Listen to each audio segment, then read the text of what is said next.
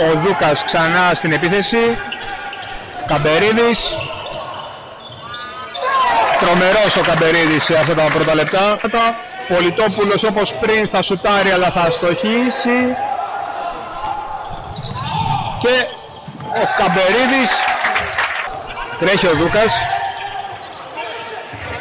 ο οποίος βέβαια μπορεί να ελέγξει και να διαχειριστεί το σκορ με τον Καμπερίδη που δεν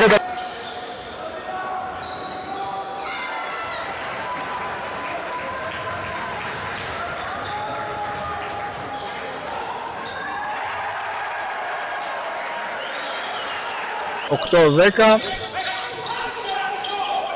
το προβάδισμα στον Παναθηναϊκό 3 και 40 για τη λήξη της πρώτης περίοδου και 10-10 με ωραία ενέργεια εκεί από τον Καμπερίδη και την επίθεση και την ευκαιρία να διευρύνει το προβάδισμά του. Τρομερή προσπάθεια εκεί από τον ε, Καμπερίδη που είπαμε είναι για την ώρα κορυφαίος του παρκέ. Τον Καλαϊτζάκη προλαβαίνει ο Καμπερίδης, Τσουριάνης. Ξανά ο Καμπερίδης. Τρομερή φάση πάλι από τον Καμπερίδη. Που αποδεικνύει πως είναι χαρισματικός αθλητής. Προηγούμενη φάση από τον πάγκο του Δούκα. Με τον ε, forward τον ε, πρασίνο να διαμορφώνει το 2-4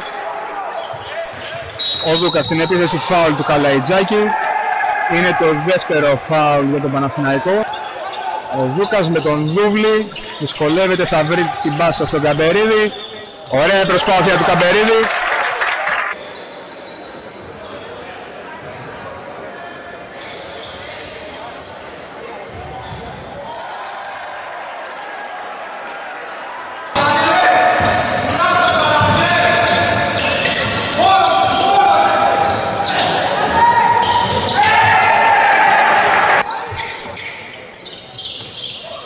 λιγότερο από 1,5 λεπτό 13-10 Δούκας Παναθηναϊκός. Και 16-10 με το τρίποδο του Καμπερίδη πάρει πάνω του. Θα βρει το Καμπερίδη.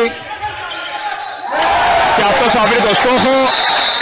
Θα πανηγυρίσει λίγο